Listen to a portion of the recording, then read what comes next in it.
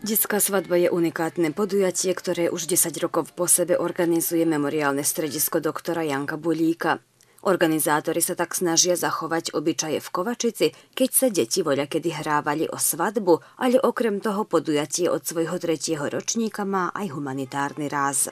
Najmä tanec z mladuchov sa platí a tie peniaze deti následne venúvajú na humanitárne účely. Doteraz z detskej svadby na humanitu poskytli niečo viac ako 2000 eur.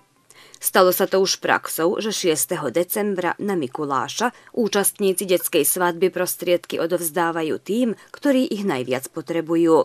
V tomto roku mladá nevesta natancovala 41 tisíc dinárov a 50 eur a deti sa rozhodli, že peniaze darujú svojim rovesníkom z Kovačica Kisáča, ktorým prídu vhod na liečbu. Deti to rozhodli, že e, polovicu tej sume, ktorá mladá natancovala, venujeme Kovačičanovi, Ervinovi, Cickovi a polovicu dáme do Kisáča, e, presnejšie e, jednej ako tak môžem povedať, e, dievčine e, Dorotej a e, Momsu Kisáč, ktorý ďalej tie peniaze venuje niekomu. Málo je akcií detských, ktoré sú usmernené aj na tú humanitnú časť. A veľmi som rád, že v takomto mladom veku ukazujeme a zaučame tieto najmenšie deti do tej, k tej humanity.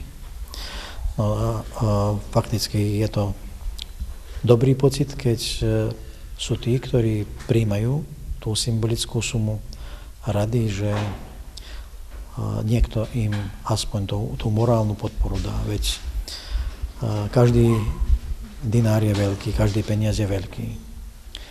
Ale choroba nepozná ceny, choroba nepozná nič iné a keď sa to môže aspoň takouto akciou prispieť tak a potešiť e, zvlášť z tej morálnej strany, tak naozaj máme dobrý pocit tohto všetkého. Deti, účastníci tohto ročnej detskej svadby zároveň usporiadali i krátky príležitostný program, v rámci ktorého pripomenuli významné výročia narodenín či úmrtia významných osobností v dejinách slovenského národa. Odzneli i recitácie a piesne o Mikulášovi. Organizátori im potom udelili priliehavé darčeky. Mikuláš je detko starý, vie on robiť veľké čáry nadeliť si radosti, čižmu plnú sladkosti. Sme každému účastníkovi detskej svadby e, venovali taký jeden darček, čiže to je ten náš nástenný kalendár, jednu čokoládu. Taktiež sme venovali deťom, ktorí boli e, na Slovensku, čiže e, sme dostali ešte nejaké balíky nám poslali zo Slovenska, ktoré sme si zo sebou nemohli zobrať, takže ešte tým deťom, ktoré boli na Slovensku, tak sme venovali ešte jeden taký balík.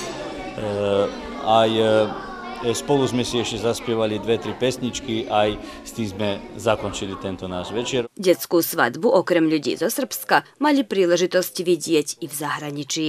Prvý zájazd bol v 2010, druhý zájazd bol v 2015, tretí zájazd v 2016 a môžem tak ešte povedať, že v, tom, e, v tomto roku sme e, neboli len na Slovensku, sme troška zašli aj na Česko, takže aj na Česku si, v Česku si nás mohli pozrieť, že čo je to e, dolnozenská svadba, čiže tá detská svadba, ako to, ako to má vyzerať u nás na Dolnej zemi. Na záver Mikulášského večierka deti súhlasili, aby detská svadba bola organizovaná aj na budúci rok, a to s rovnakým cieľom, teda zabaviť sa, ale predovšetkým zazbierať finančné prostriedky, ktoré budú následne darované deťom, ktoré ich najviac potrebujú.